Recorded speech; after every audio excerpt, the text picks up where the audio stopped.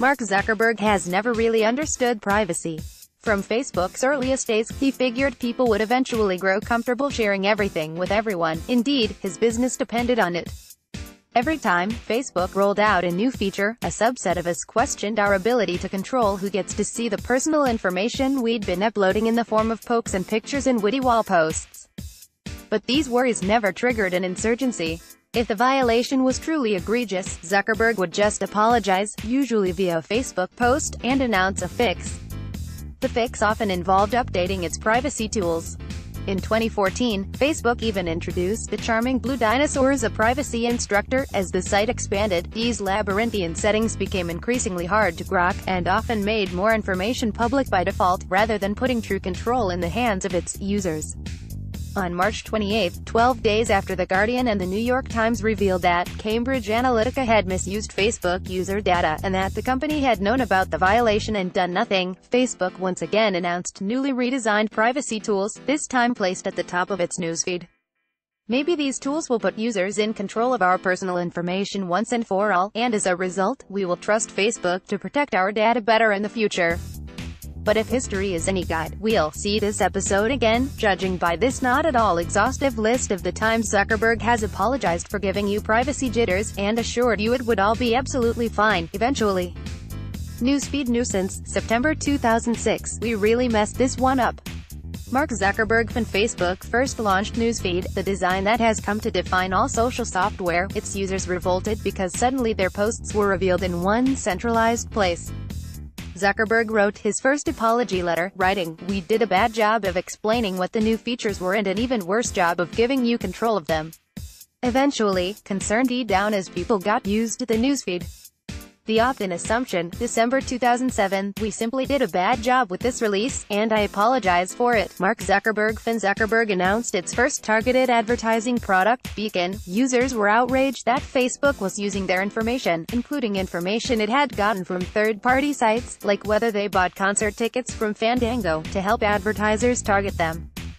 Zuckerberg addressed criticism in a post, saying, It took us too long after people started contacting us to change the product so that users had to explicitly approve what they wanted to share. As a result of complaints, he said the company had made Beacon opt-in, and that Facebook planned to release a feature that let people turn it off completely. Facebook shut down Beacon on 2009, creating confusion. December 2009, we are adding something that many of you have asked for. Mark Zuckerberg This time, Facebook attempted to get in front of its users' data concerns. As it stepped up its efforts with advertisers, Facebook launched new privacy tools that aim to empower people to personalize control over their information, according to an announcement from Zuckerberg. Yet critics complained the tools were overly confusing and pushed users to make even more of their personal information public, rather than giving them control. This triggered an Federal Trade Commission investigation. Break things, May 2010, sometimes, we move too fast. Mark Zuckerberg reporting in the Wall Street Journal revealed that advertisers were using a privacy loophole to retrieve revealing personal information, like users' names, from Facebook, and other social networks like MySpace and Xanga. Facebook quickly made a change to its software to get rid of the identifying code, and a few days later, announced plans to redesign its privacy settings.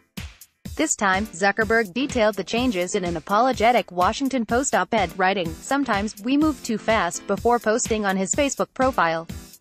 Privacy predicament. In November 2011, I'm the first to admit that we've made a bunch of mistakes. Mark Zuckerberg after the FTC charged Facebook with deceiving consumers by saying they could keep their information private, and then allowing it to be shared and made public, Facebook agreed to a settlement. Zuckerberg addressed the agreement, which he never explicitly called a settlement, in a blog post. The company had made a number of mistakes, Zuckerberg wrote, but he understood that many people are just naturally skeptical of what it means for hundreds of millions of people to share so much personal information online, especially using any one service. He then offered up a list of new tools Facebook had made available to help users control their privacy and announced he'd have two chief privacy officers going forward, instead of one. One version of Control, January 2013. You control who you share your interests and likes with on Facebook. Michael Richter, former chief privacy officer, Facebook in January. Facebook rolled out a search product called Graph Search, designed to let users search any topic inside Facebook. This riled privacy activists because it allowed people to unearth any information a user hadn't proactively protected. Days later, one of Facebook's chief privacy officers respond to the concerns, kicking off a trend of the company addressing privacy concerns after the fact. This became a steady coda to nearly every product launch that followed. Facebook under fire, March 2018, we have a responsibility to protect your data, and if we can't then we don't deserve to serve you. Mark Zuckerberg